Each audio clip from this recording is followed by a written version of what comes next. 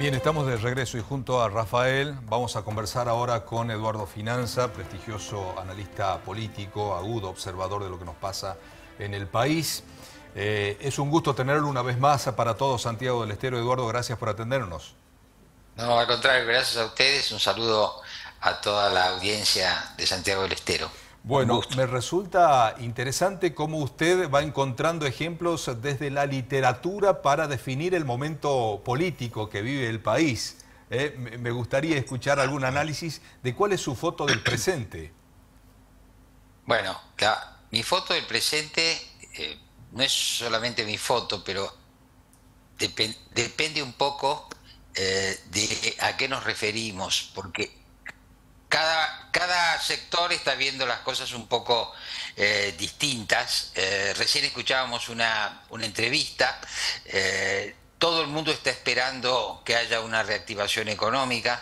Creo que estamos en un punto de inflexión de la política económica del gobierno, es decir, el gobierno cree que está logrando los objetivos y hay mucha gente que está demandando eh, mayor actividad, se cumplió el objetivo de bajar la inflación relativamente y ahora se está esperando eh, una mayor eh, actividad económica, etcétera. Y creo que el apoyo al gobierno se va a definir en los próximos meses en torno a la cuestión de la recesión.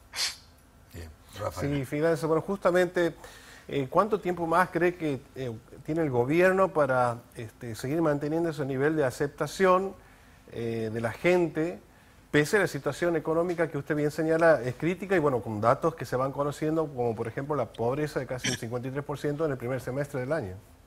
Bueno, yo lo que les puedo decir es las mediciones que nosotros hacemos mensualmente eh, en el mes de agosto, eh, perdón, de septiembre mostraron un quiebre importante porque empezó a caer eh, notoriamente la imagen del presidente, decayó la aprobación del gobierno, otras figuras del gobierno también tuvieron una imagen menor y además empieza a aparecer en la, en la evaluación del gobierno dos o tres fisuras que hay que ver cómo evolucionan, ¿no es cierto? Hay gente que percibe que el gobierno eh, tiene cierta capacidad para resolver los problemas. ¿Qué quiero decir con esto? Bueno, se reconoce que la inflación ha descendido, pero la gente percibe la dificultad para mejorar los ingresos y sobre todo que haya más actividad, como yo recién les decía. También aparecen en nuestros sondeos indicios de que eh, la gente percibe que no se está gobernando para el conjunto, sino para un sector. Esto, atención, es una cuestión importante porque este gobierno llega porque el actual presidente, Javier Milei, denuncia la existencia de un estrato eh, perjudicial, ¿no es cierto? Una minoría que perjudica una mayoría. Bueno, pero nosotros empezamos a ver que probablemente eh, en la población empieza a crearse la idea de que este gobierno también tiene a un sector privilegiado sobre otros. Bueno, estos aspectos, como la caída de las expectativas, es lo que eh, empezamos a ver hace un mes y ahora tendríamos que ver si se ratifica esta tendencia o esta tendencia eh, se revierte pero efectivamente no le está ocurriendo al gobierno lo mismo que le ocurrió en los primeros siete, ocho, nueve meses, ¿no es cierto? Vuelvo a decir, hemos observado un quiebre significativo de las expectativas en el mes de septiembre. Roberto Ayala, tu consulta para Eduardo. Sí, Eduardo, buenas noches, gracias por la atención. Buenas noches. Eh, dos, dos, aspectos, uno estrictamente lo técnico, eh, lo que usted analiza, y después en su visión aguda política en este sentido.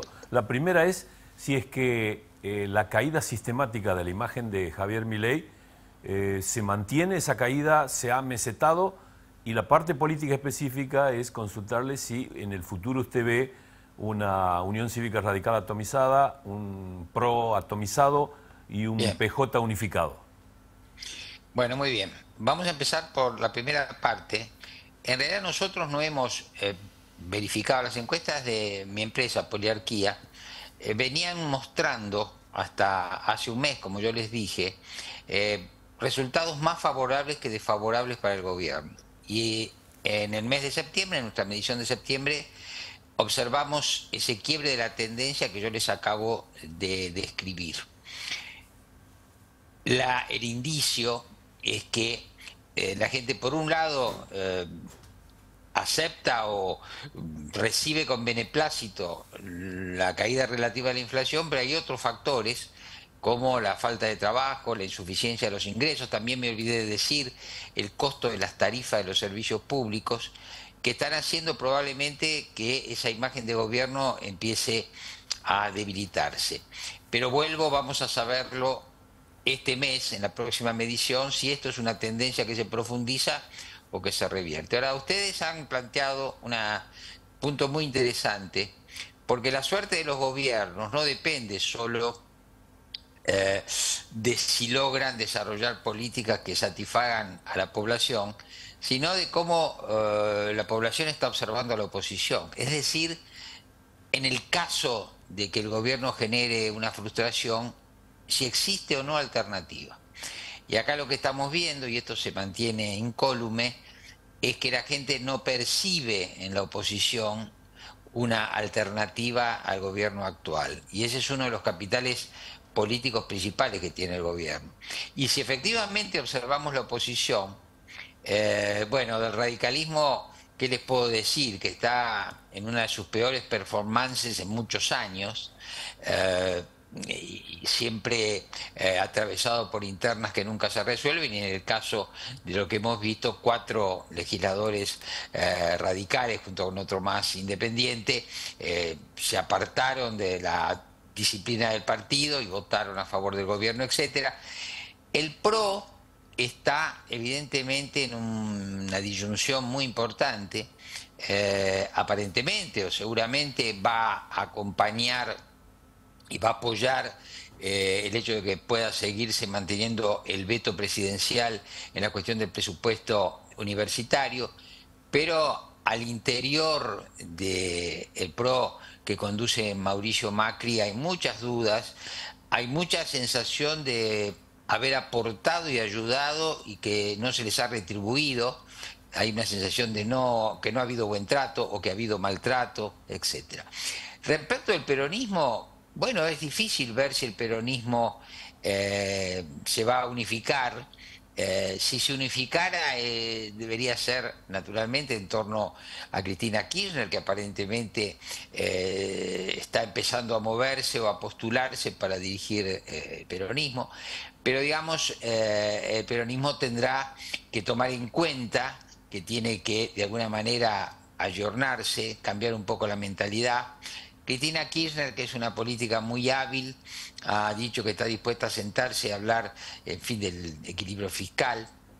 Significaría realmente eh, una actitud revolucionaria en ella, que, eh, en fin, en cierta manera las variables macroeconómicas eh, no estuvieron en el centro de su, de su aprecio y su consideración.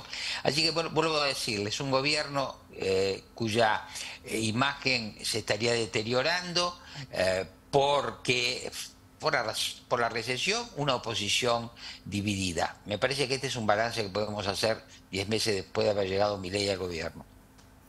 Bien, Fidanza, eh, quiero andar un poquito más en lo que eh, le consultó mi compañero.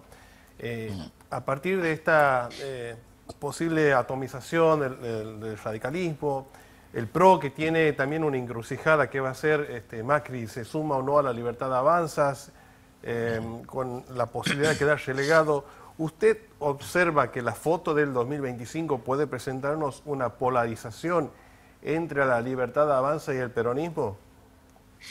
Bueno, eh, es una de las posibilidades.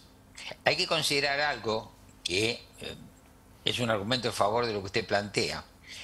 Hoy cuando se analiza una temprana intención de voto para 2025, el peronismo sigue siendo la segunda fuerza nacional, ¿no es cierto?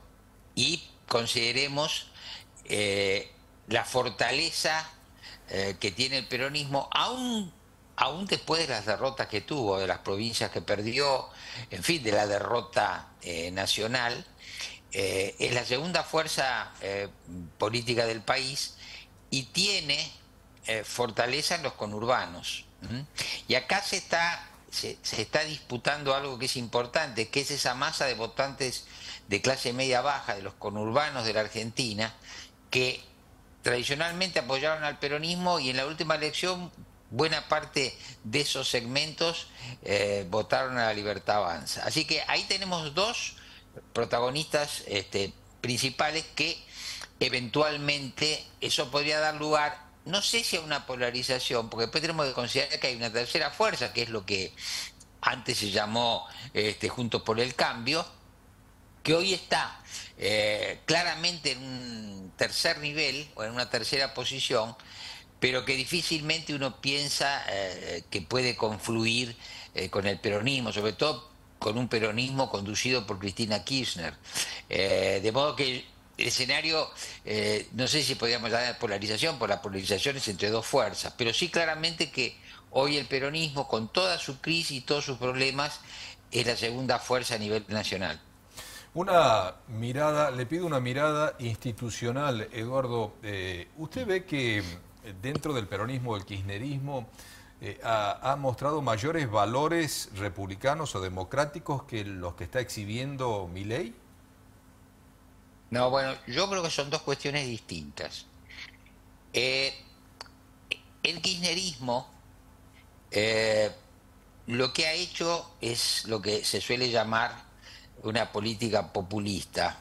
Esto es privilegiar la relación del líder eh, con las masas, con la población, con los seguidores, y darle una, digamos así, una subvaloración podríamos decir, a las instituciones. Pero me parece que el, fenómeno de, los libertarios es un poco distinto. Eh, aquí tenemos un presidente que ha declarado que odia al Estado. El Estado eh, es parte del sistema. Eh, el Estado tiene sus poderes, ¿no es cierto? Es el poder ejecutivo, pero existe el poder legislativo y el poder judicial forman parte del Estado. El presidente ha declarado que odia al Estado, ha dicho que él es el topo que viene a destruir al Estado. Eh, este odio, así como el trato que él le dispensa a la oposición, llama a los opositores ratas, odia al Estado, eh, tiene una actitud absolutamente dogmática, permítanme decirles que en mi opinión, yo esto lo he dicho y lo he escrito y se lo reitero a ustedes, hay una diferencia, yo diría para peor, con eh, el kirchnerismo, siendo que el kirchnerismo este, no tuvo en cuenta, como correspondía, eh, cuestiones institucionales. Veamos a la vez que si establecemos algunos comunes denominadores entre kirchnerismo y mileísmo, veamos también la actitud eh, que estas dos fuerzas han tenido con el periodismo. Eh, vean ustedes que Milei ha dicho eh, que su liberalismo se basa en el respeto el respeto irrestricto al proyecto del otro, pero parece, por ejemplo, que el proyecto del periodismo, en tanto se deriven de allí críticas, bueno, ahí el respeto irrestricto parece que no está funcionando. Sintetizo, un presidente que odia al objeto de su trabajo, que es el Estado y lo que tiene que conducir. Y un presidente que trata de ratas a los opositores es un agravio institucional inédito, a mi modo de ver, en la historia política de estos últimos 40 años. Eduardo, desde ya le agradecemos la gentileza que tuvo en atendernos. Muy buenas noches.